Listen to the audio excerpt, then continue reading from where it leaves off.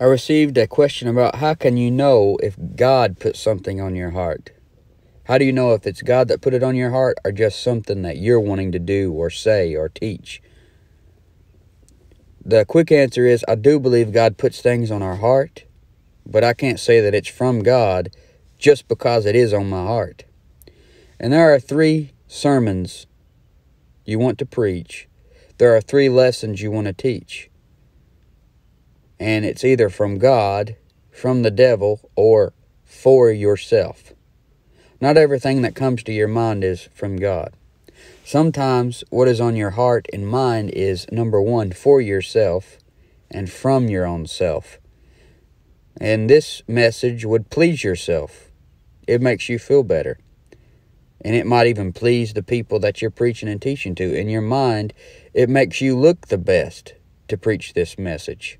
It probably even pleases the crowd the best.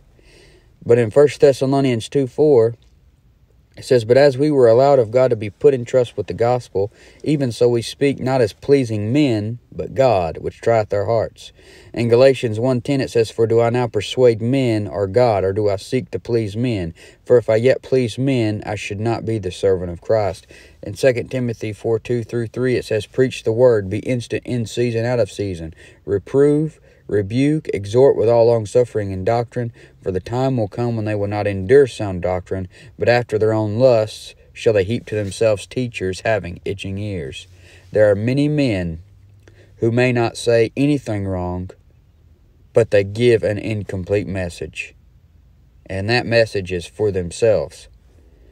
Most times, if what God has put on your heart to preach, teach, or do has to cut corners, or leave something out, I'd say that is something you're doing for yourself.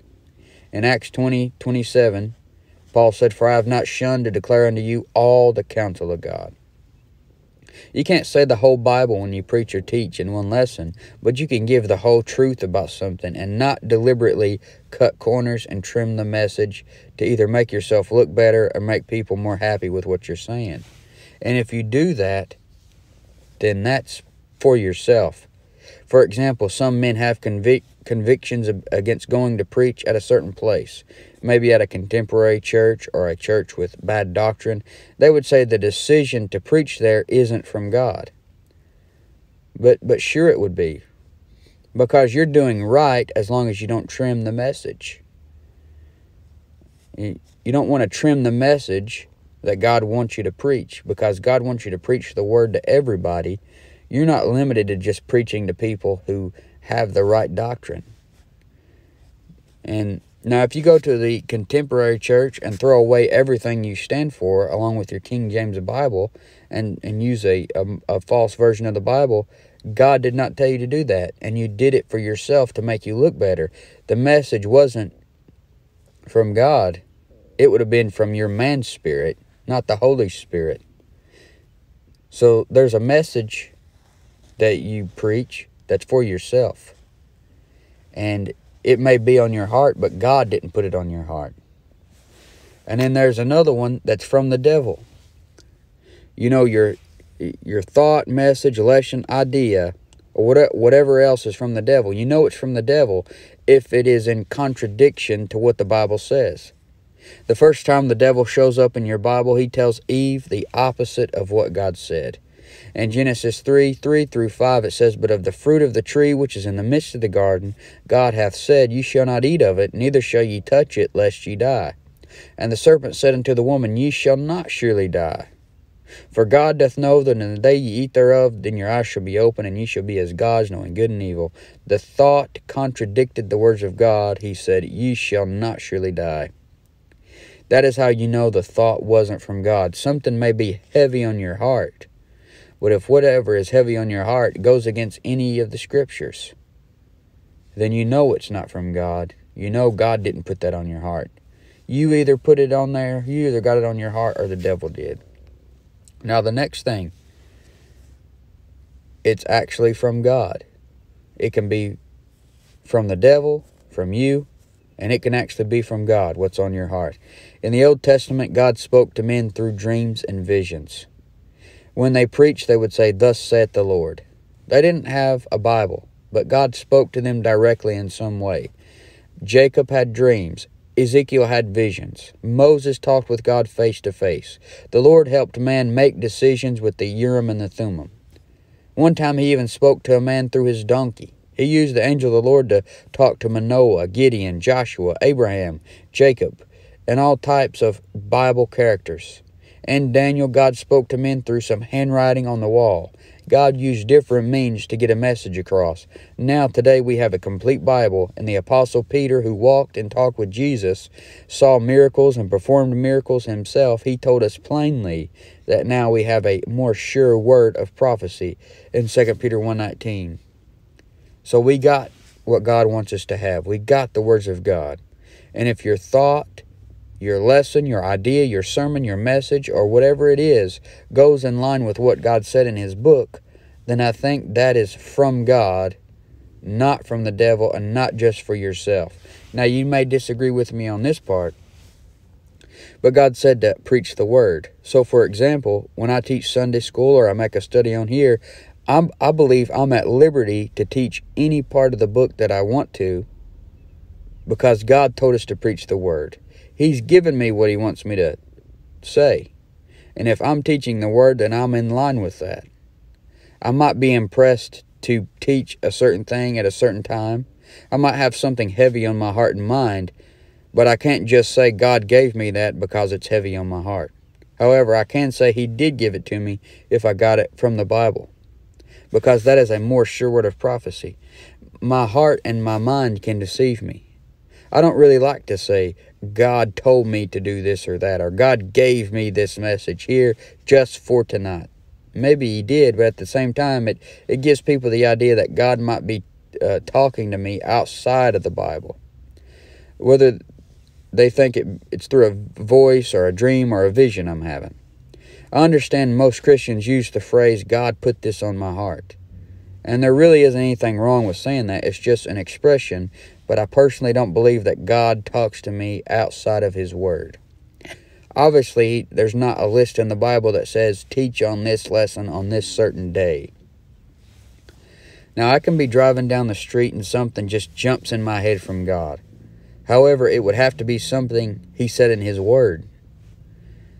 Sometimes I've been teaching or something and a thought pops in my head out of nowhere. And that thought was from the Bible. So I believe that it's from God.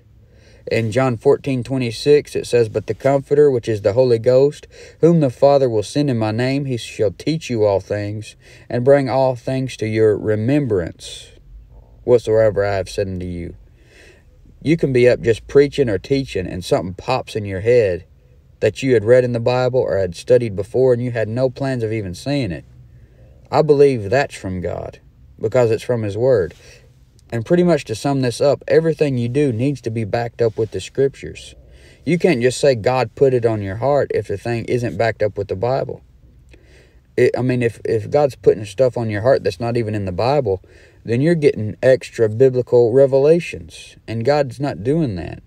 And if, you know, if everybody could just get up and say, well, God put this on my heart to say this, and what you're saying is not even in the Bible, how can you be that confident in yourself that that's not from the devil? Or if it's just something that's meaningless. A lot of times you can listen to a pastor preach and what he's saying is just meaningless. It has nothing to it. It's it's not evil, but it's not good. He's not he's not saying anything bad, but he's not saying anything good. He's just saying absolutely nothing. And you look and you see there are thousands of people sitting there listening to him, and he just said absolutely nothing for 30 minutes. He wasted everyone's time for 30 minutes to an hour. Surely, if he gets paid that much money and has that many people come to listen to him, surely he can at least study a little bit. And you're left wondering how he even got in that position that he's in to begin with. He doesn't say anything but like cute little pickup lines to get people to clap at the end of after everything he says. But what he's saying isn't from God. It's not even really even necessarily from the devil because he isn't saying anything to convict people or to edify anybody. He's just wasting everyone's time. But yet he'll say, God put this on my heart. Did God really put that on his heart when what he said had nothing to do with the Bible or, or anything like that? Can you really say that with confidence? I personally can't say, God told me to say this, unless what I'm about to say actually came from the Bible. In John 16, 7, it says, Nevertheless, I tell you the truth. It is expedient for you that I go away. For if I go not away, the Comforter will not come unto you. But if I depart, I will send him unto you. Now listen to this. And when he was come, he will reprove the world of sin, and of righteousness, and of judgment, of sin, because they believe not on me. Now, when when something's from God, it's going to convict people. It's going to show them that they're a sinner and things like that. Because that's what the Bible does. It tells you all about man. That shows that man didn't write it, God wrote it because it's against man.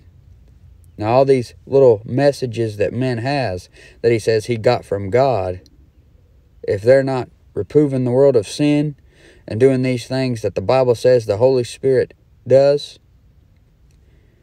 then it's probably not from God. Just these good messages making men feel better about themselves and that you know some preachers say they won't say the word sin. That's not from god. You can't even say the gospel without saying the word sin. So did god put it on their heart to teach a gospel that doesn't mention the blood or mention sin when the bible mentions blood and sin? You can't say that's from god I'm not a good speaker and I don't have a good delivery. I'm not able to move a crowd, but, but I can at least study my head off so I can edify the people listening and get them interested in the Bible. And if I'm saying something from the Bible, then I can truly say, God put this on my heart. If I don't have the Bible to back up what I'm saying, then what's the point anyway? Now, when you're using the Bible to back up everything you're saying, I believe God gives you liberty within that. For example, I believe I can teach on whatever I want from the Bible on here or in a Sunday school class or wherever as long as it's from the Bible. And I can on honestly say God put it on my heart. Sometimes you get the idea that a person is spending more time asking God what they should preach or teach than they are studying out and meditating on the words of God that He's already laid out for them. God told you what to preach. Paul told Timothy to preach the word. And many times someone may ask, How do I know what to preach or teach? God's given you 66 books. There's a lot in there. You have you you got to start somewhere. It's all good. Uh, I believe there is liberty once you are using the words of God. 2 Corinthians 3.17 says, Now the Lord is that Spirit, and where the Spirit of the Lord is, there is liberty. And just a little common sense you got to use. For example, if you're teaching five and six year olds, I don't know if it would be good to teach on end times prophecy. It might go over their head a little bit, although my daughter just turned five and I've been teaching her on that for a while. But as long as you got the Bible, you got a little common sense, I think you're going to be okay. But to sum this up, if what you're saying is from the Bible and it's been on your heart, then God put it on your heart and not you.